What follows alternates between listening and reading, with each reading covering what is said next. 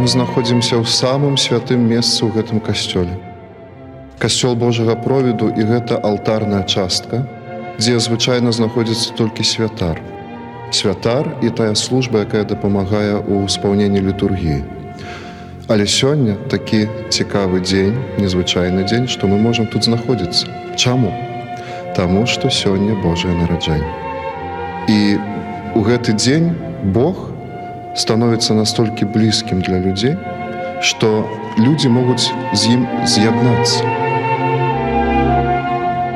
Гэта свята праяўляецца тут у касцёле не толькі ў людзях, якія былі ў споведзі і прымуць сёння Хрыста ў сваё сэрца ў Еўхарысты. Гэта свята праяўляецца тут на браслаўшыні ў прыродзе. Як вы заўважылі, калі сюды накіроўваліся, усюды белы чысты снег белы чысты снег якім павінна быць і сэрца. Менавіта ў гэты дзень чалавека. Бо перажываць Божае нараджэнне гэта урачыстасць гэтае свята без белага чыстага сэрца немагчыма.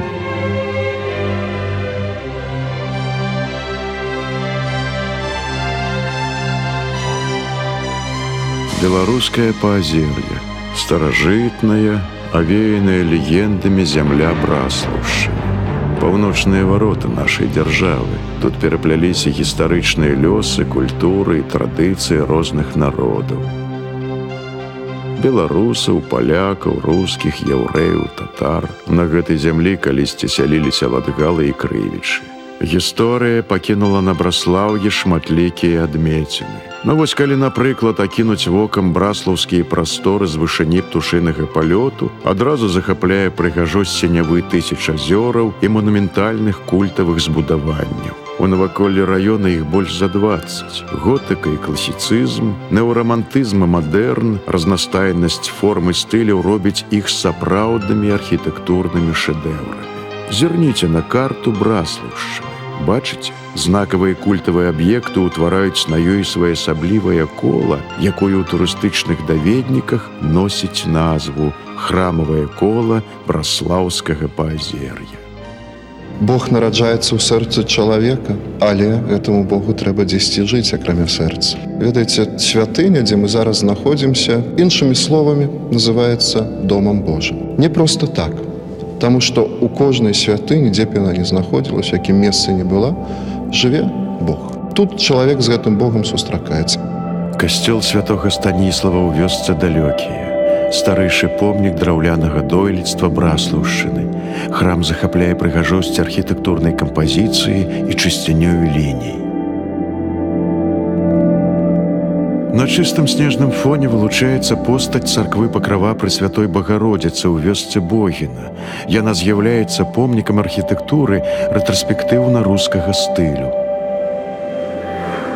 У цэнтры вёскі і казень царква свяціцеля Миколая цудатворцы. Яна была ўзведзена ў 1905 годзе па загаду імператара Миколая II на сродкі дзяржаўнай казны. Помнік архітэктуры псеўдарускага стылю.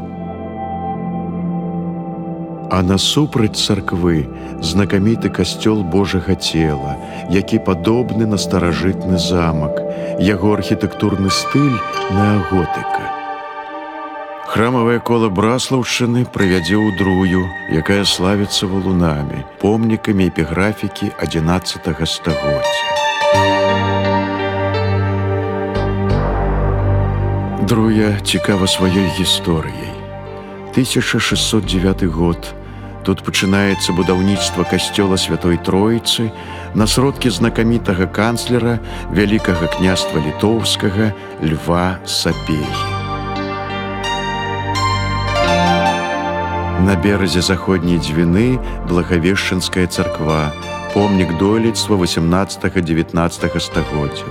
У часы барацьбы з рэлігіяй яна была амаль разбурана.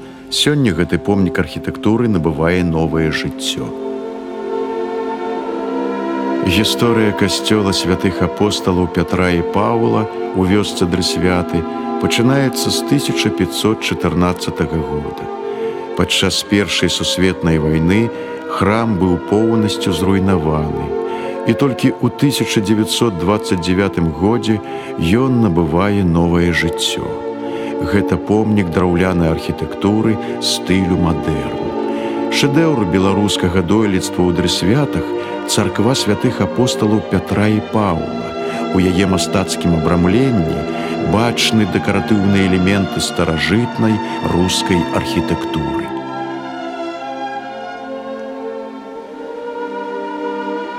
Мястэчка Опса упершыню упамінаецца ў летапісу ў 1500 годзе. На месцы спаленага калісьці храма тут у 1887 годзе быў узведзены касцёл святого Іана Хрысціцеля. Гэта помнік архітэктуры неаготыкі. Наяўнасць такой колькасці храмаў розных рэлігійных канфесій на невялікай тэрыторыі, сведчыць аб асаблівай культурна-этнічнай разнастайнасці рэгіёна. Павага мясцовага насельніцтва да розных рэлігійных поглядаў і з'яўляецца асновай мірнага шматвекавога суседства. Ішоў час, мянялася ўлада, а вера і моц духа народа заставаліся непахіснымі. І сёння прыхаджанне літаральна па цаглінах аднаўляюць разбураныя не толькі войнамі храмы. Самае высокае культавае збудаванне на Беларусі касцёл святой троіцы ў гарадскім пасёлку відзы, вышыня шпіляў якога амаль 60 метраў. У сценах яго замураваны рэшткі снарадаў, напамін пра першую сусветную вайну. Галоўнае ўпрыгожванне касцёла цудоўныя вітражы, што надаюць ему велічнасць і таямнічасць.